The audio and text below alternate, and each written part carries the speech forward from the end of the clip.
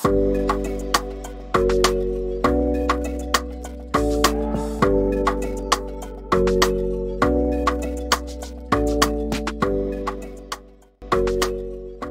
everyone. I'm truly thrilled to see so many people on this workshop. It's an honor to be with a group of people who wants to make a difference and lead the way for others. Welcome to the CRUR workshop part two. Please allow me to do a quick recap on CRUR workshop part one. I will discuss the various efficiency matrix. We did a poll and PUE is found to be the most commonly used. However, though PUE is a good metric, it is not an indicator of the overall data center efficiency. I will introduce CRUR, how CRUR coexists with PUE to create a powerful solution that will help you with capacity planning, identifying design flaws, and designing better future data centers.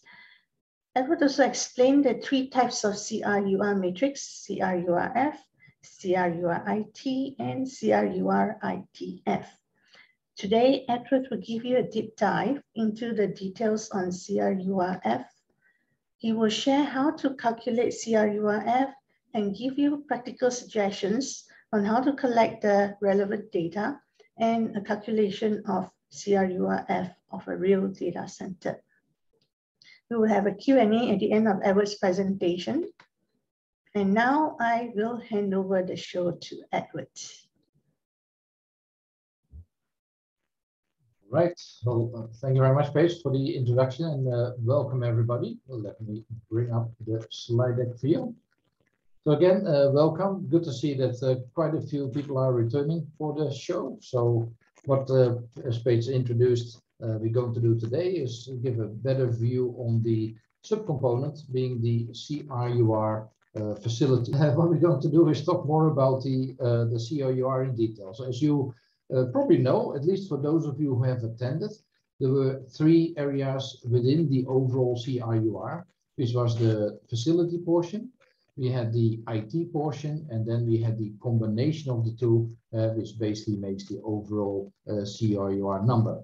For the presentation of today, we're going to zoom in on the facility portion, what it is all about and you know what are information you would need to collect in order to start looking at this number.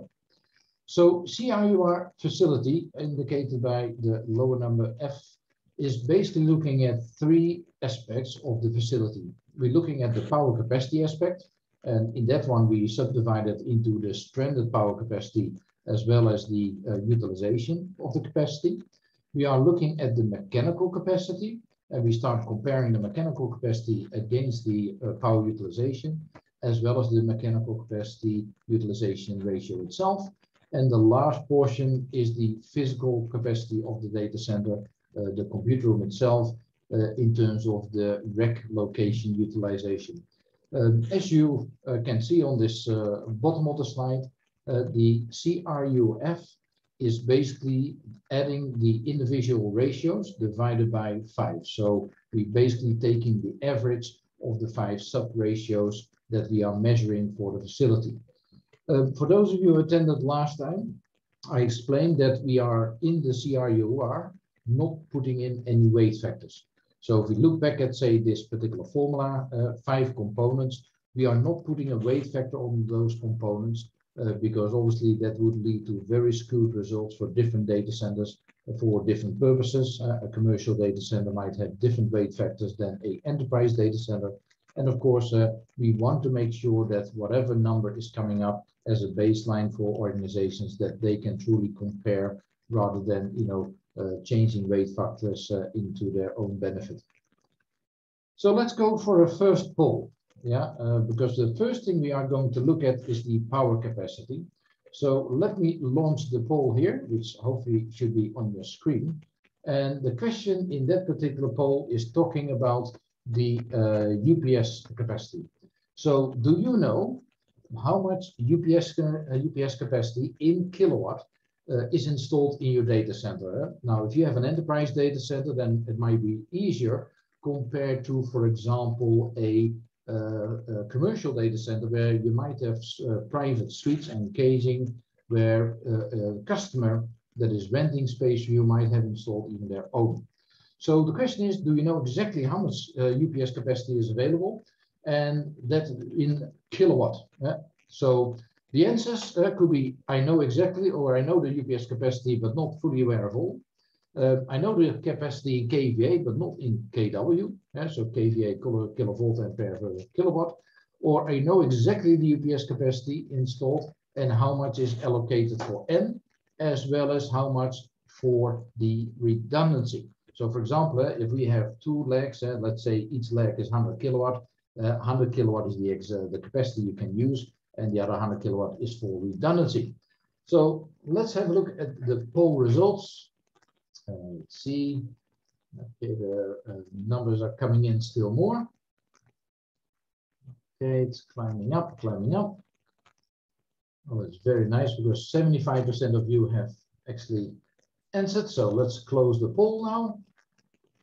And here are the results. So a number of you say, well, I know the UPS capacity, but I'm not fully aware of what the customer might have installed. Now, I suspect that these are obviously commercial data center operator owners where sometimes it's very hard to know what the customer actually have done in their own private area. Um, some say, I know the capacity in kVA, but not sure about kilowatt. Uh, there is a difference between kVA and kilowatt. Uh, kVA is apparent power and kilowatt is actual uh, energy consumption. Um, and there is a difference between those two. So for CRUR, we are uh, after the number in kW. So if you are aware of kVA, but not in kilowatts, then you need to start figuring out what the capacity is in kW. Uh, the manufacturer of your UPS can indicate that. You might find a brochure, or you could even look at the, the label on the UPS, typically on the back. And some say, I know exactly what is installed, how much is there for N, and how much is there for redundancy. So 70% have a pretty good handle on all that is required, uh, and uh, 25, well, this is 30% uh, might need to uh, do a bit of further investigations uh, to understand that I saw that I forgot to hit the share button. So let me share the results on the screen so you can actually see it yourself as well. Yeah, so 30% of you yeah, would need to do some extra investigation uh, when you want to apply the CRUR. All right, back to the slides. So a couple of factors uh, as indicated for the power. Uh, we're looking the first one at what we call the SPCR which is the stranded power capacity. Now, what is stranded power capacity? Basically, that is unused capacity when you are running in a traditional uh, setup and everything is okay. So we don't have a failure on the UPS or other uh, nasty things going on. Uh, everything is running. Now, as you know, a lot of data centers are by default adding in a lot of extra capacity for redundancy purposes. Yeah, and that redundancy purpose uh, capacity can only be used obviously when there is a scenario of a failure. So very simply put here, yeah, in this case, you have, for example, a, a traditional setup with A and B supply. Uh, we normally have a maximum base load, uh, that is the load that you allow as a data center. Uh, then we typically have some buffer uh, because theoretically it could be 50 50% uh, uh, separation, but we normally go for about 40% maximum load because we allow for some peak loading and some buffering. And then, of course, we have the other part, which is kind of unused, right? So the idea is, of course, that once the, for example, B supply fails for whatever reason, that that load is being added to the A supply, yeah, and then adds up to basically the 100%. Now, depending on what type of setup you have in your data center, yeah, there could be quite a difference in terms of stranded capacity. Yeah. So if you're looking at the traditional design that you see on this chart on the left, uh, where we have what we call traditionally the N plus N, yeah, in a traditional data center where everything is up and running, theoretically 50% load goes to the left and 50% uh, goes to the right.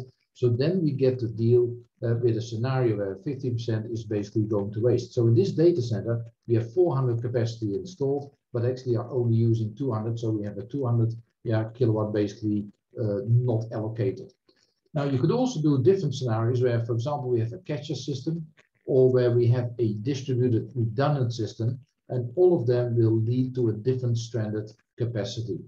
So in this case, uh, what is the SPCR? Basically, we say it's the N capacity, yeah, and we divide it by the total capacity that is installed in your data center. And again, be aware that this number has to be calculated based on kW.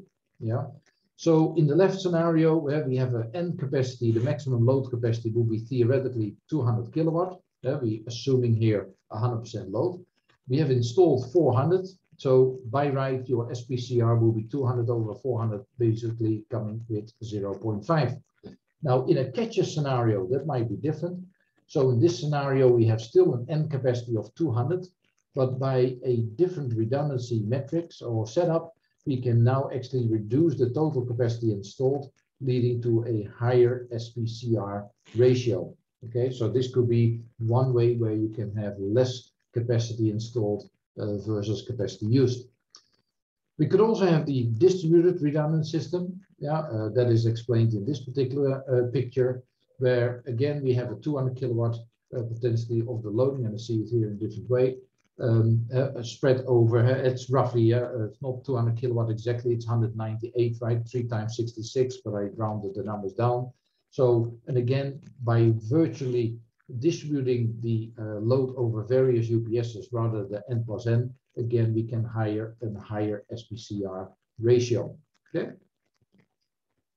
Now, stranded capacity, if you have a mix of uh, uh, commercial, uh, mixed environment, uh, like what we typically have in a commercial data center where we have, for example, different floors, or we might have different UPSs allocated for different type of floors, then we need to start doing uh, a calculation for each particular area, right? So ideally, if you're running a commercial data center, you are looking at, say, what UPSs we have allocated for which floors or which cages, etc you do a calculation for that environment.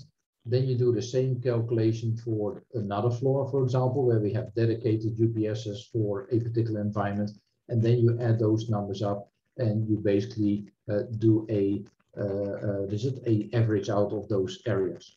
Now, the UPS capacity that we are after is only the one that is related to the IT room, so to the computer room. Now, I know that in some scenarios, uh, there are data centers where UPS are allocated for different parts of the infrastructure as well, like security systems, monitoring, as well as for, in some selected cases, even the air conditioning equipment.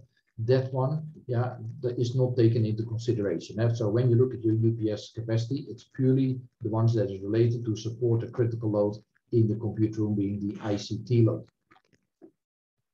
Now, in this case, uh, uh, just to explain how that would work, uh, here we have, for example, a scenario where we have a, a, commercial data center setup. Yeah, we have two big UPSs downstairs in the building. We have room A for one customer, and we have another room B for another customer. Now, in this example, we see that the customer in room A is enjoying the power from the main supply from the commercial data center operator, whereas in room B, the customer has decided to add extra UPS capacity, which some customers do because they feel more confident that if they have their own UPSs, that in case there's something on the main UPS, then at least they have their own support. Now, when you do the CRUR calculation for your overall building, you need to take that into account. So in this case, uh, we have uh, assumed a 200 kilowatt maximum load. Normally, it will be 400 kilowatts that the commercial data center have installed. But in this case, due to the added capacity uh, in room B, we need to add that one as up. So now we come to a total kW of the UPS installed to 500, uh, 200 plus 200 plus 2 times 50, and the N capacity hasn't changed. So now you see that the actual SPCR rating is dropping, and that is obviously not desirable, and that's something that the commercial data center then might have to discuss with the customer. The other option that we are looking at, uh, or the other criteria we're looking at in the power capacity is PCUR. So that is the power capacity utilization ratio. So basically what we try to do here is to understand how much power is actually being used versus what is being installed. Yeah.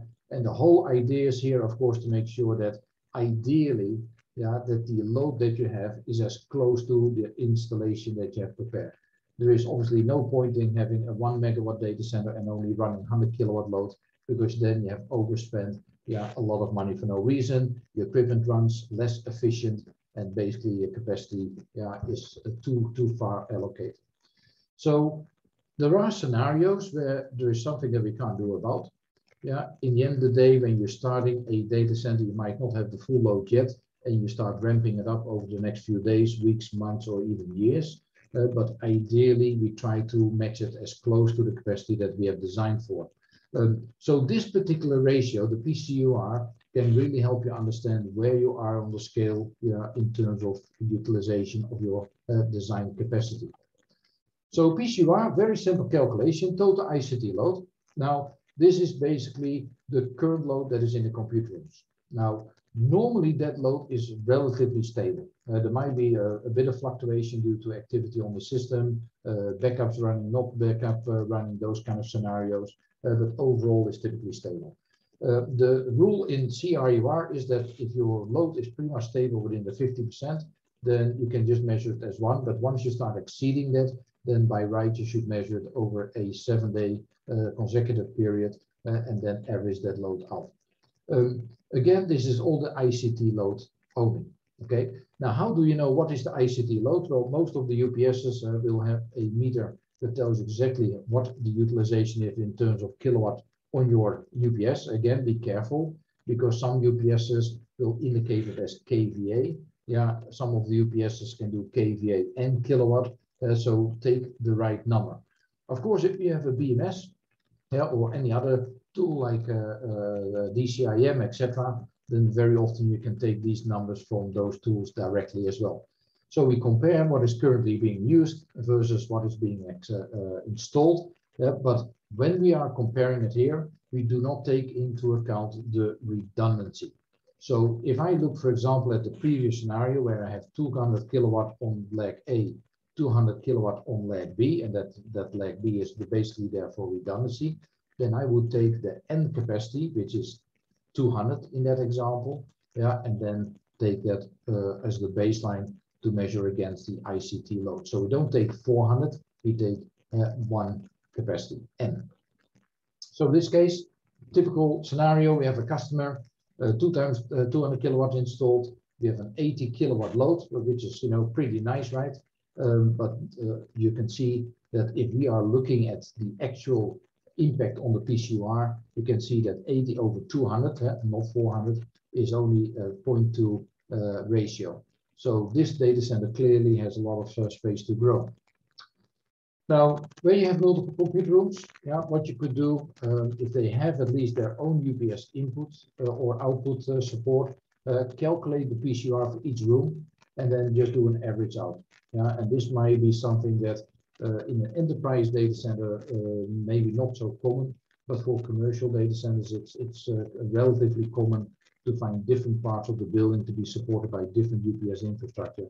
So that's where you need to look at it. If you have power distribution that is uh, in a different way, let's say that you have the scenario that I explained to you in room B, where we have the traditional UPSs for the building, but a customer still decides to add extra UPS capacity in the racks, etc. Uh, that by right should be added. If you're using OCP, then you might not have a UPS at all, because basically in an OCP environment, uh, the, the power capacity uh, uh, conversion uh, from AC to DC and the, the battery backup for it is installed in the rack itself. So then obviously you need to take that one uh, into account. Okay, so again, multiple compute rooms, measure it by compute room if they have their own UPS. If you have multiple compute rooms, uh, all connected to one UPS, then you only take that one UPS, of course. Uh, but if you have shared, you average it out and then you take the number from there. So let's have a look at poll number two, uh, because we are going to look now at the mechanical capacity. So in the mechanical capacity, yeah, the question is, do you know exactly how much the sensible heat capacity in kilowatt again is installed inside each computer room? And how much is allocated for N and how much for redundancy. Now, be aware, we are looking here at sensible heat capacity. Okay, so be aware, eh? if somebody says I have six ton of air conditioning cooling, you need to know whether that allocation is for sensible. So the answer is, I'm not sure what is actually defined as sensible heat capacity. I know the capacity of the air conditioners, but not sure whether that is the general rating or the sensible heat rating. Um, I know exactly the air conditioning capacity based on sensible heat rating, and I know exactly how much is allocated for N and how much is there allocated for the redundancy. So the poll is open. let's see, we see the numbers climbing up. 50%, we're running towards 60% of you answering. Let's see whether we can hit again the 75% of you answering. That will be lovely. Okay, numbers are still climbing.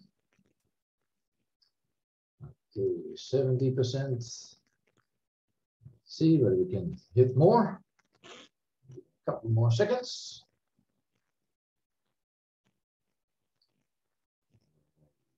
Okay, start topping off now. Okay, let's uh, close the poll and let's share the results now immediately. That was the best plan. So as you can see here, uh, quite a few people, 20% of you are not fully aware what actually sensible heat capacity means. Um, and that's very important because what is happening in cooling technology, we have normally what we call latent heat, and we have what we call sensible heat. Sensible heat is basically uh, heat that is not injecting or affecting humidity. We as a human, we are latent heat because we are yeah, injecting humidity, we evaporating our sweat, etc. That is latent heat. Sensible heat is purely color temperature change. So for example, uh, IT equipment doesn't perspire, right? So that is sensible heat. And air conditioners have typically a latent heat ratio and a sensible heat ratio. So we need to look at the sensible heat ratio because that's really what we need to compare against. Uh, some of you say, I know the capacity for the air conditioners, but not sure whether it's actually the sensible. And then another amount say, you know, I'm really fully aware of everything. I know what the sensible capacity ratio is and, and what is allocated. So here you can see that actually, relatively speaking, a small portion yeah, of you know exactly what is happening and that uh, quite a few of you are still, you know, not 100% sure about what the sensible uh, heat actually is, or how uh, what the rating is of your air conditioning. So again, this is the homework, right? Uh, we need to investigate for the air conditioners that you have installed what the sensible heat capacity ratio is, uh, and that one you can find out either in the technical data again of your air conditioners, or you can check with your vendors and ask them to supply you with those numbers because that's a very important numbers.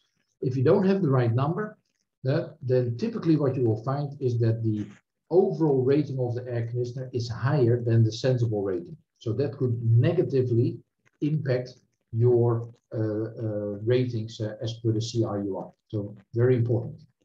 Let's do a stop sharing and continue with the slides. As I said, now in terms of the mechanical portion of the CRUR facility, we are looking at the MPUR, which is the mechanical versus power utilization ratio. So what we are compa basically comparing here, say, how much cooling capacity have you installed based on Sensible versus how much UPS uh, capacity do you have installed. Now, for those of you who have attended the first session, I explained to you that heat cannot be destroyed and heat cannot, or sorry, energy cannot be destroyed and energy cannot be created. Energy is always transforming. So theoretically, if we have 100 kilowatt UPS, theoretically, you only need 100 kilowatt of sensible cooling capacity. Of course, in a computer room, there is some latent heat injected as well. Uh, when you and I walk around, uh, maybe some evaporation from the walls, uh, expiring, uh, uh, uh, venting out some of the humidity if there's no proper va vapor barriers installed. but in general, it's sensible. So what is happening? Theoretically, your computer room design, if you have 100 kilowatt of UPS, you only need 100 kilowatt of air conditioning installed. That is theoretically the case. Now, we know that some of the designers say, well, uh, there will be mixing of air in the room.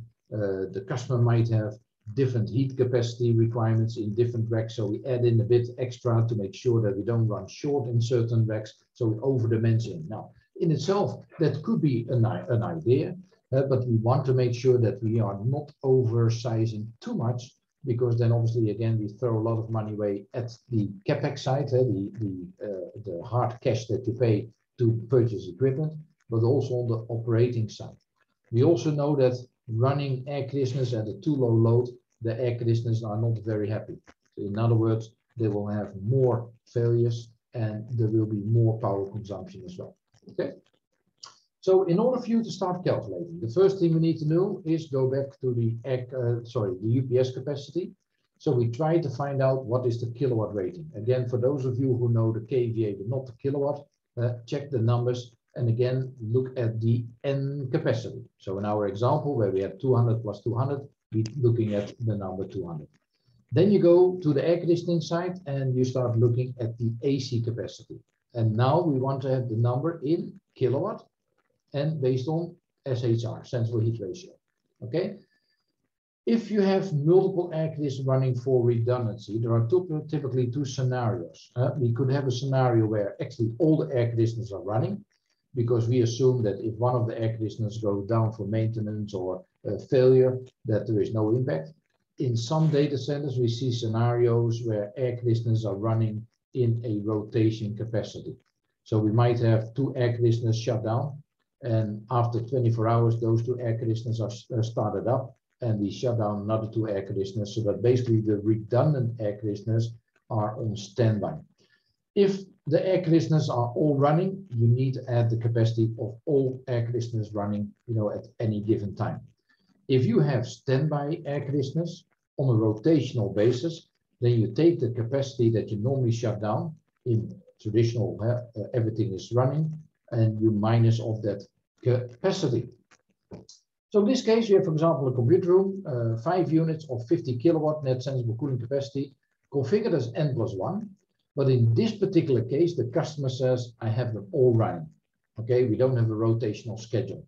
So theoretically, we have 250 kW of sensible cooling capacity, Computer room is supported by 200 kilowatt UPS, eh, the N plus N as per the example, but we need to take only N.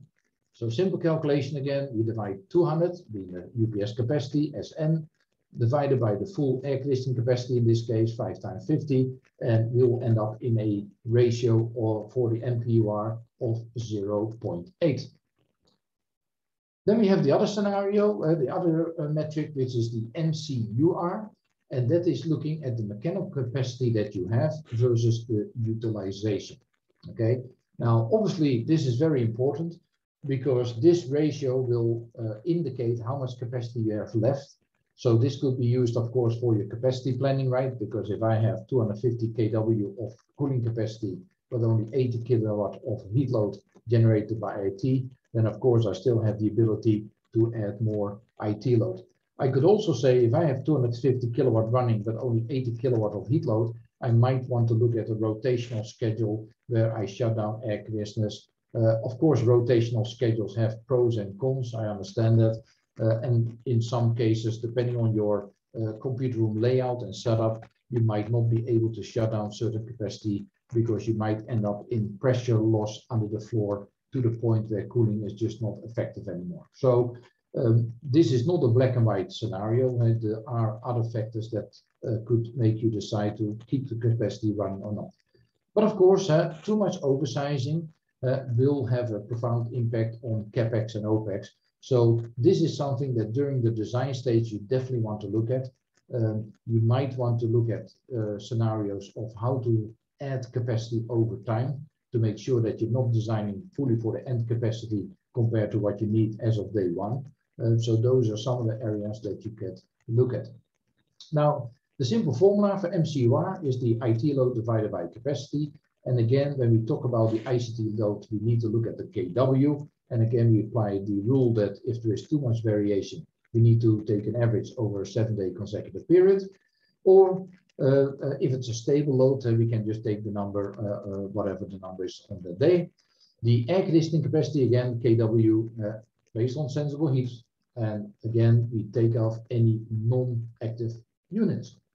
So in this case, uh, let's say that we had a computer room that you saw before, 8 kilowatt was running. We have five units of 50 kW running all the time. So the simple uh, calculation is 80 in terms of the kilowatt of ICT load divided by 250, which will give me a ratio of 0.32.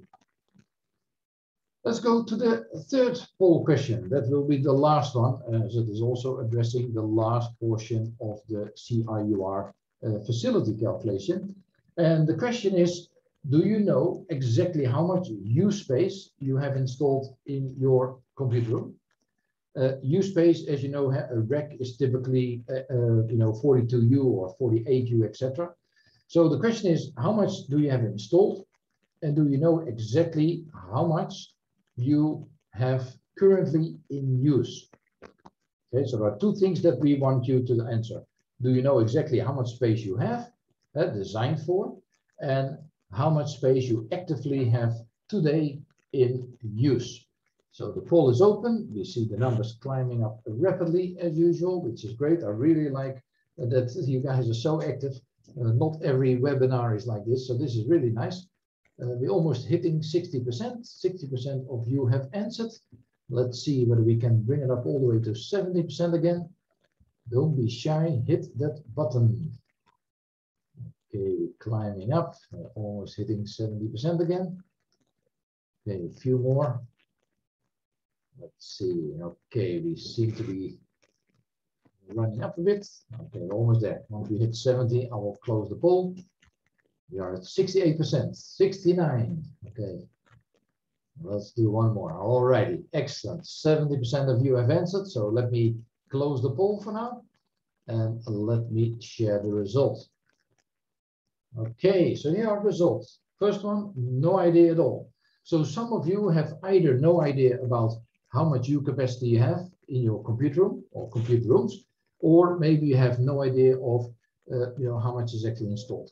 Some say, you know what, I, I basically have a good idea, gut feeling, but you know, don't ask me about the exact number.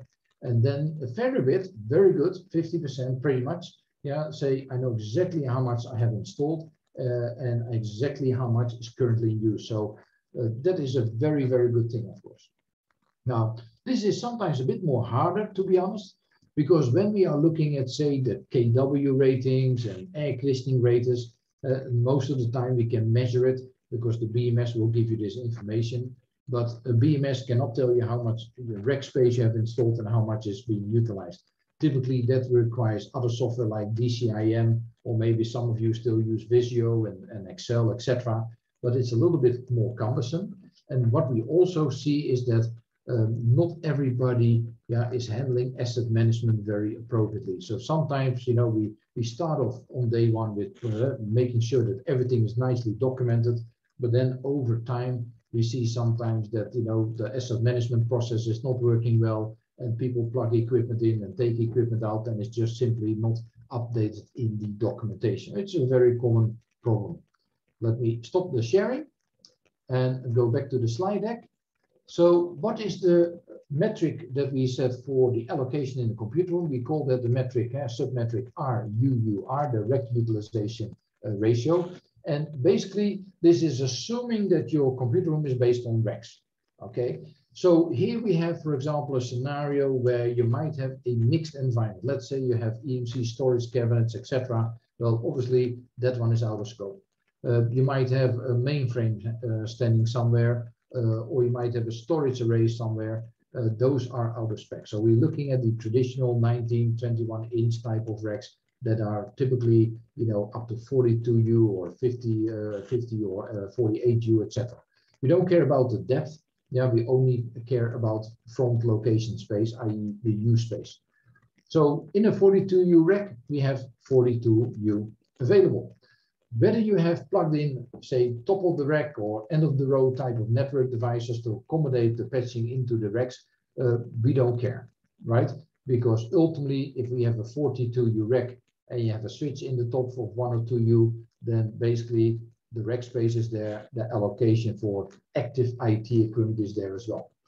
Okay, so in this case we have a 50 uh, uh, room, uh, a room, sorry, with 50 racks, uh, the traditional 19-inch rack which has a 42U allocation. Uh, there is a bunch of IT equipment in there. You can see that here. They have a bunch of uh, hubs, servers based on 2U, a bunch of servers on 4U, and they have a couple of backend routers that are 12U. So what do we do? Well, very simple. We take the number of devices times the U space, right? So we have 50 times 1, 420 times 2, and so forth. And then we come to the total, which is the rack space available, which was 50 times 42, right? And we divide that over each other. So that leads to a factor of 0.51, right? Again, this is just in the formula. 0.4, uh, which is basically the first one, uh, 50.1, and etc., etc., etc. So when we are going to calculate the total CRURF, we take the previous factors that we have in the various scenarios Uh, so we're looking at the stranded capacity, the power utilization, and so forth, and divided strictly by five, uh, the five items. And in this case, the overall uh, CRUR facility for this particular data center looks at 0.45. So that is how it looks. Now, just to share with you, and let me have a quick one here. If you give me one second, then let me make one change because obviously we want to hide the customer name. Uh, and then I'll share you. Let me quickly stop this sharing and then I'll share another screen. Uh, where is it? Where is it? Where is it? Okay, that is this one. Let me share. Hopefully you can see it. okay, so this is one of those things. So when we do an audit for customers, uh, this is one of the examples. So in this case, we have uh, this customer available where we did the calculation on the stranded capacity. We looked at the power utilization uh, that they used, the mechanical, uh, the MPUR. We looked at the MCUR, and we also looked at the uh, allocation in terms of the uh, MCUR, sorry, and the rack allocation. And basically what we then do, yeah, we can actually provide on the dashboard the overall CRUR uh, as well as the individual CRURs. So here the customer can see that, you know, in this case, we are not really doing a great job on PCUR. We're not really doing a great job. Actually, we are quite, quite okay on this particular factor. Let me scroll that back again. On the MPUR, they're quite okay. SPCR, not too bad, as typically average, especially in a N plus uh, N scenario. The IOUR is not too bad. So overall, this customer is, you know, doing reasonable. Now, there's still quite a few things that they can maximize on, especially on the uh, utilization ratios. Uh, they clearly have a lot of space. So in this case, the customer can say, hey, overall we are not too bad, but we clearly are underutilizing our facility. So there is either space to growth, which could be good news, right? Especially if you're looking at a growth scenario, or you could say, you know what, we pretty much maxed out with IT, you know, an enterprise data center. There's not a lot that's going to be added. So this clearly means that we have over-designed our facility. So if you want to build another data center because this was uh, one is getting old, uh, this is something that we need to take to into account uh, because as I said before, uh, typically we are over designing and under utilizing and in this particular customer case that was clearly one of those scenarios. Let me stop this one and go back to the main screen. Share. So as a summary, yeah, before we go to the Q&A, yeah, CRURF calculation requires you to collect data about the UPS air conditioners, uh, uh, especially, and also the, the way you have done the redundancy design. Again, kilowatt for UPS, yeah, kilowatt for the air conditioner, and be careful, and we need to have the sensible uh, kilowatt, not the overall kilowatt, okay? You need to, of course, also look at, say, the U capacity that you have installed and what you are using, and then basically do a calculation of all the subcomponents and then basically look at there. And subcomponents eh, in uh, and sub ratios could also be for each and every customer. So again, if you have a commercial data center, then you might want to look at this particular ratio for each customer. So you also know, you know, which customer is heavily oversubscribed, which one is undersubscribed, and then of course you can take certain measures uh, from there um, either telling them to you know uh, cut down on the subscription so that you can allocate space for customers that are really in trouble. Uh, yesterday I was at a uh, event of W Media where we spoke with uh, certain customers and one of the common things that the data centers now complaining about is the availability of power. But the funny part is that most of the power yeah, uh, uh, capacity in the traditional commercial data centers most data centers still have plenty of capacity left in real life, but they can't allocate it because the customer has over, oversubscribed. So what I'm trying to say here, let's say that the data center has five rooms uh, sold, each 500, uh, say at 100 kilowatt. That means the co-location site has now 500 kilowatt allocated, five times 100 kilowatt for each user. But there are plenty of users that are clearly not hitting the 100 kilowatt. So theoretically, they've oversubscribed, but the commercial data center cannot allocate extra space to somebody else because, yeah, uh, the commitment is that if you need it, we have 100 kilowatt available for you.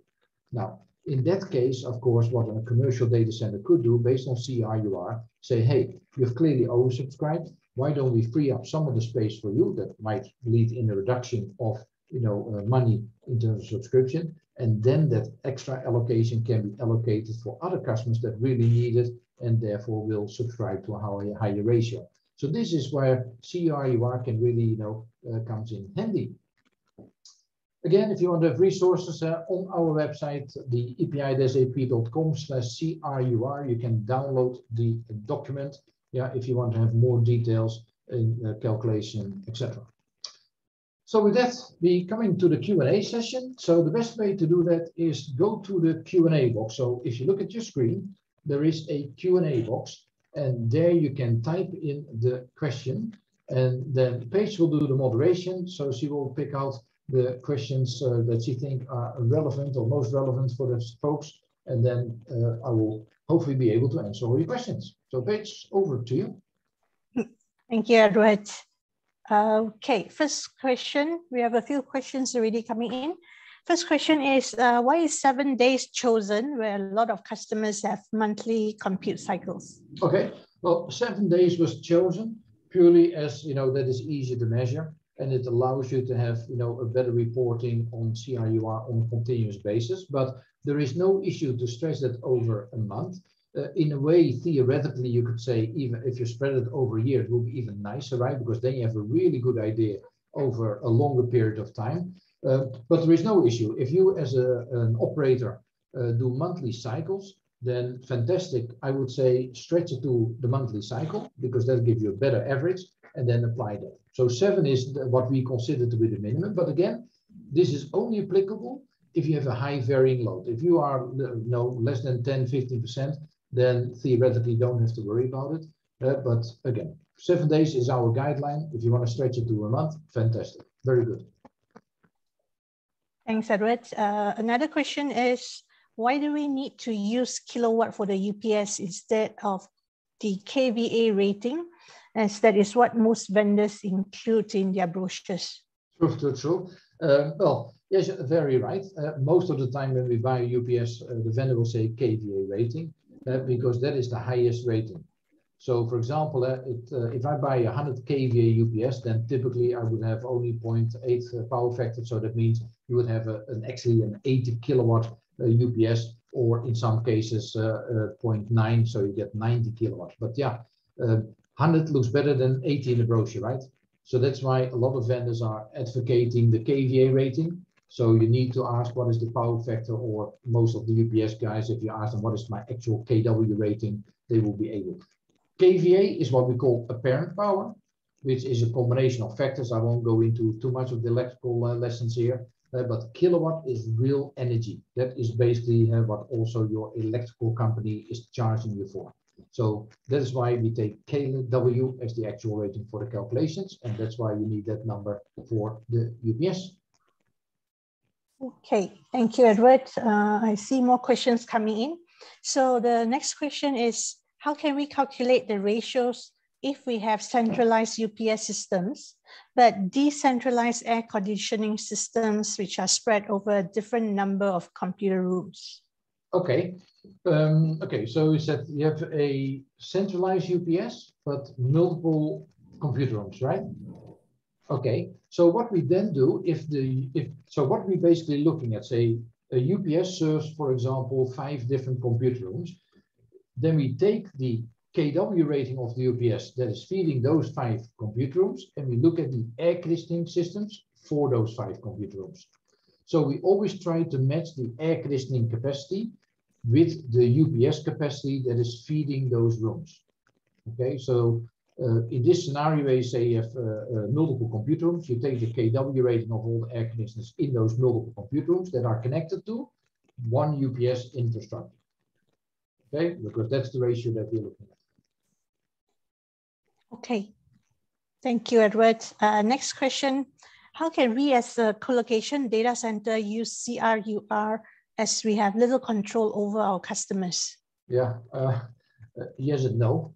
Um, it's sometimes difficult indeed to have, uh, uh, you know, control over your customers, right? Uh, you cannot say, well, you're only using 50 kilowatt. I want you to throw another 100 kilowatts because I want you to use what you have signed up for.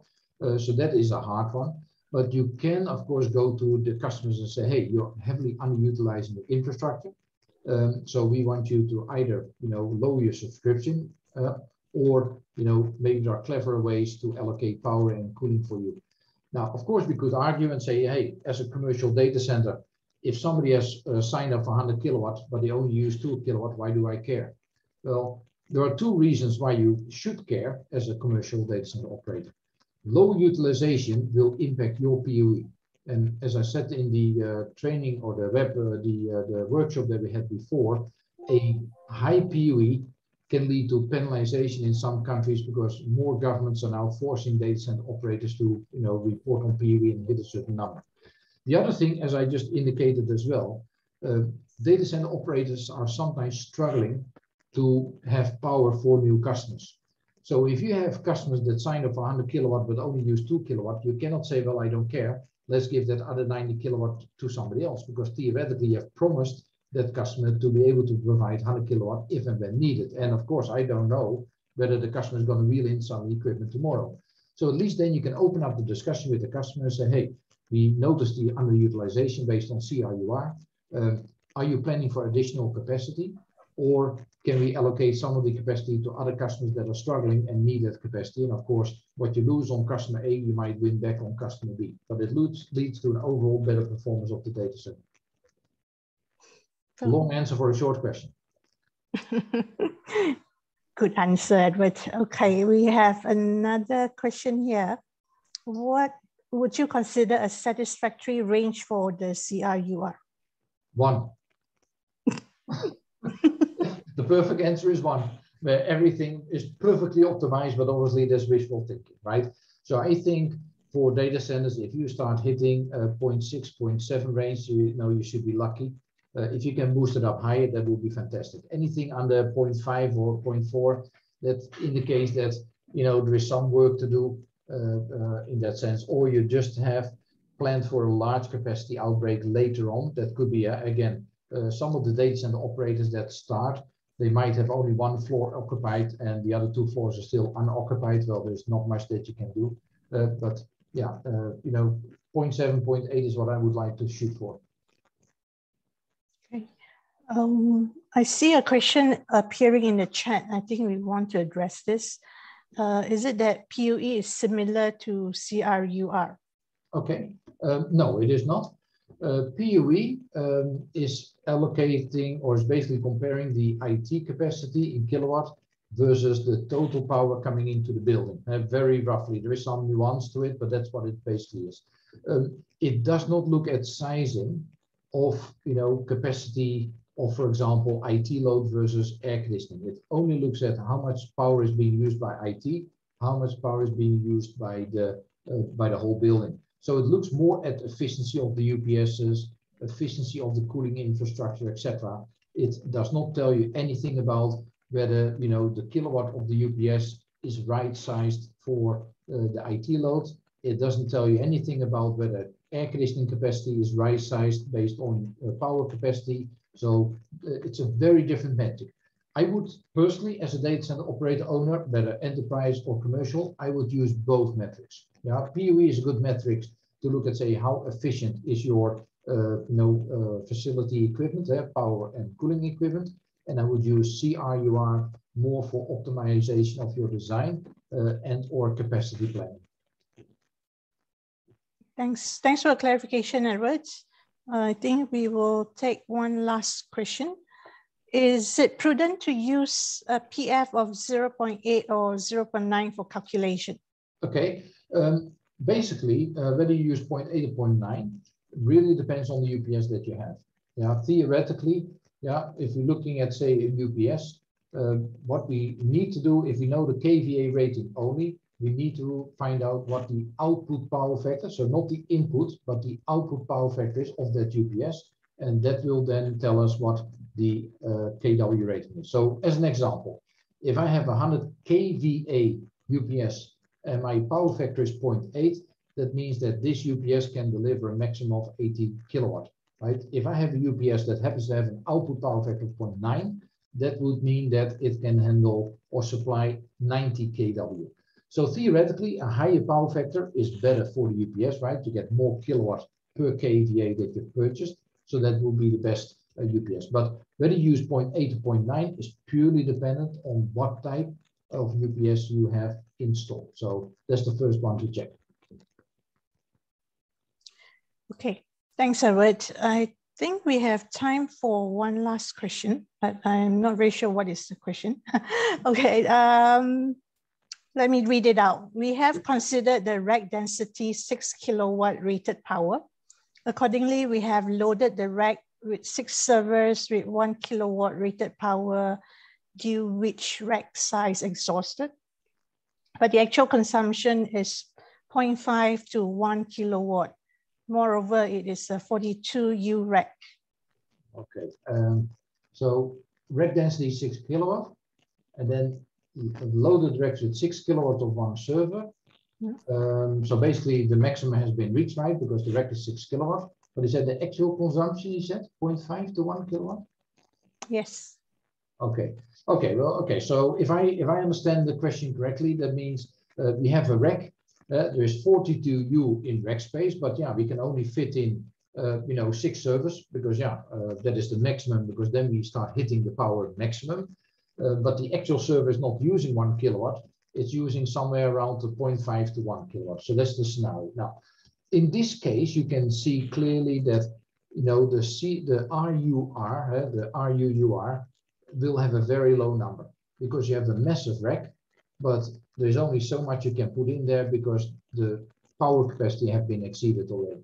Now, is that a problem? Well, yeah, uh, you can argue whether that is a problem. Yeah, you can of course not say I'm going to install uh, 10 new high racks because that just doesn't, well, it exists, but it's not something we put in data center.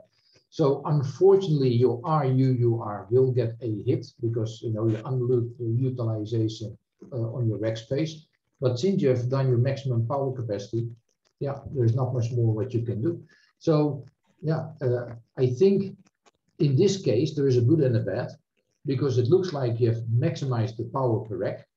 Now, maximizing the power rack will have a, a positive impact on the power capacity, right, on the PCUR, etc., and hopefully also on your mechanical versus power rating. But your RUUR might look low. So if I go back to that uh, picture that I showed you with the graphs, right, your RUUR will be very low but the other factors might be very high.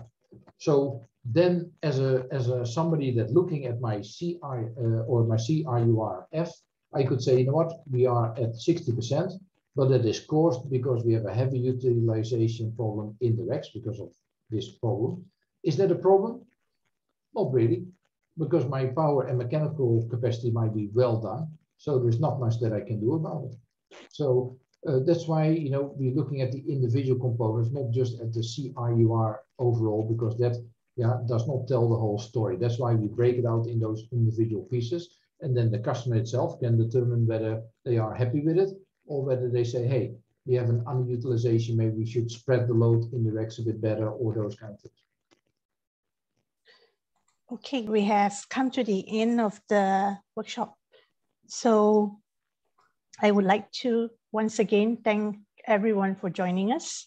Uh, take away the information, use it, test it, implement it, and remember that we are here for you. So if you need any assistance applying what we have gone through today, please uh, do reach out to us.